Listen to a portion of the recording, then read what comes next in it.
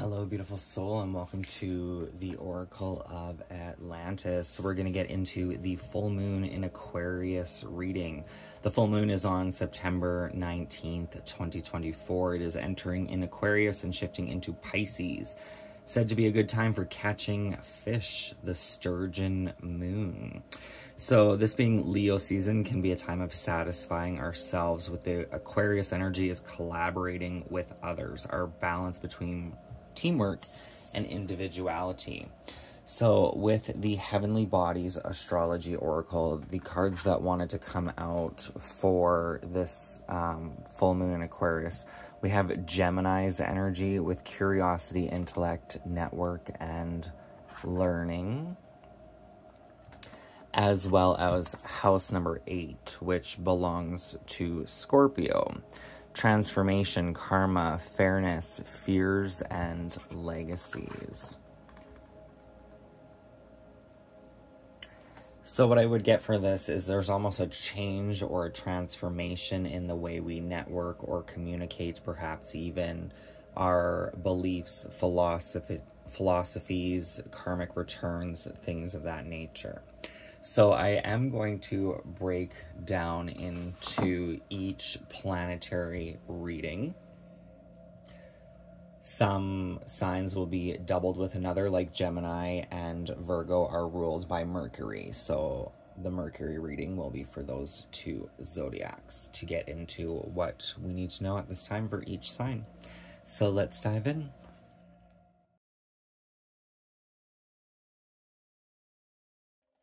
So the moon, which is Cancer's ruling planet, satisfy emotional needs, nurture self and others. I am going to connect Pisces energy. So Pisces, I guess, will end up with two readings here. So um, just because the moon used to rule Pisces, that was the original zodiac. So the moon is a symbol for spirit. It represents the deepest eternal core of who you are and the interior world of your soul. It's your subconscious, which speaks through psychic revelations and bone-knowing intuition. It's the watery womb from which you came and your sense of home and security. Mother Moon is nostalgic in her timeless depths.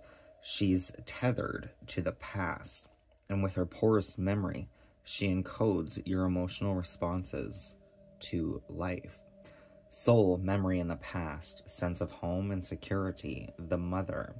Your emotional response to life, how you nurture yourself and others, psychic revelations, bone knowing intuition, your experience of the feminine energy. So it's kind of interesting because I'm just seeing this duality kind of going on with the moon representing Pisces which is symbolized by the two koi fish, right? The koi fish can represent dream and fantasy and perhaps sorting the like illusion from truth type of energy. Um, the moon being Cancer's energy is kind of very much the same symbol as the koi fish when you really think about it. They follow each other, right? The yin and yang symbol. That's funny. I've never I've never really even considered the Cancer symbol to be the yin and yang symbol. That's interesting. Anyway, I was kind of getting more of the feminine energy of the moon over here and a little more of the masculine energy of the moon. Um, just because Manas came up the other day for me, which is, I believe, is it not the Nordic belief that the moon is the father? I believe that's Manas, I'm pretty sure, is, well, Manas is, I think, connected to Odin in the actual runes, but Manas is um, the moon god, and so Sa Sawilo is the sun goddess. Energy, ener anyway, the energy of this card is speaking of the moon being predominantly feminine, which could be true the receptor part. However, the next energy coming out, we do have the energy of Mars, right? Um, so there's also kind of this masculine influence, maybe even a shift with this house number eight. being more on what I'm projecting as the masculine side, which is funny because it has the feminine kitty. uh, anyway, maybe none of it's important. Maybe it's all important. But we're going to dive into the Light Seers Tarot and take a look at the advice, the situation, the energy for Cancer and or Pisces, please and thank you. Or sorry, Cancer and Pisces. We have Scorpio's energy coming out again with a death and rebirth.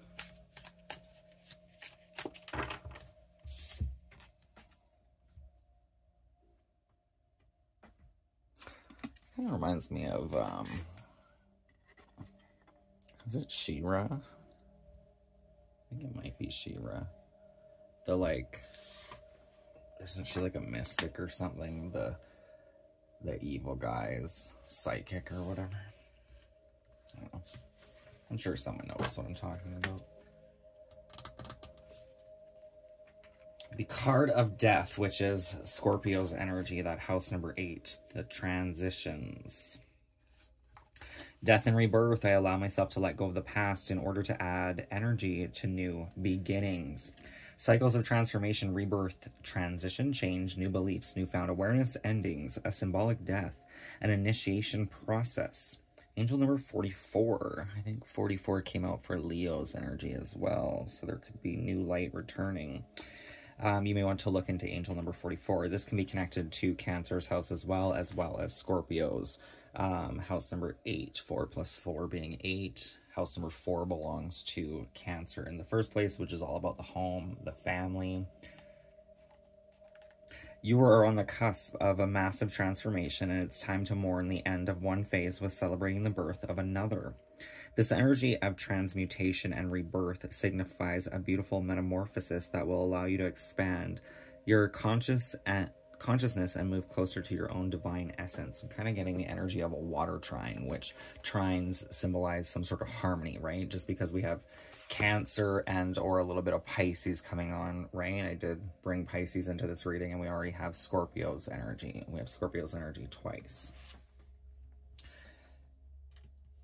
So it's that would be the water trine, which could symbolize some sort of emotional um, harmony or contentment, a rebirth of sorts. A cycle in your life, a relationship, a belief, a career path, or an outdated plan for the future is coming to an, an inevitable end. Deep breath in if this scares you, sweet light. This change is needed. Know that this card urges you to please urges you to release what is already losing energy and to focus on things that are already gaining momentum. Welcome the possibility of something new and allow the phase to come to a graceful end. Look toward the magic of this newfound horizon, because underneath its morbid exterior, the death card heralds exciting times filled with the brightness of so much potential. New light awaits. Allow your I allow myself to let go of the past in order to add energy to new beginnings. So that is the affirmation. I allow myself to let go of the past in order to add energy to new beginnings. Oh, that's interesting. I love that. The underlying energy, we have the sun card, right? The sun will come out tomorrow. Bet your bottom dollar that tomorrow very much Leo's energy. And didn't I bring up something with Leo's energy? I forget what it was. But the sun brings illumination, joy, gratitude. Maybe um, bringing in that gratitude of some sort will bring some sort of joy for you. So for the closing message, I'm going to pull a card from the Avalon Magic. Closing words of wisdom for the moon's energy for Cancer, Pisces.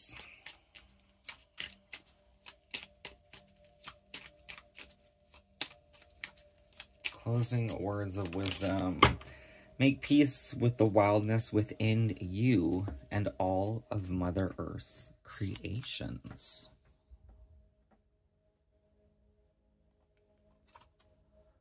Oh, it's a unicorn. It's the last unicorn. That was one of my friend's favorite movies when I was young, when we were younger. The Last Unicorn. Perhaps is your holy grail here. Sorry, I was just drawn to this card. Heal through changing your story, beginning this moment, and don't look back. The Ace of Cups, which was interesting because I think it was the last reading, which was Taurus and Libra Venuses that had the Ace of Swords that kind of mental energy with like it's like head and heart here a rebirth an illumination of some sort. So very beautiful in the long run even though there may be some darker travesties having happening for you at this time cancer and or pisces. So i hope this reading resonates. I hope it gives you some guidance. Gently place your feet on the path you were meant to travel.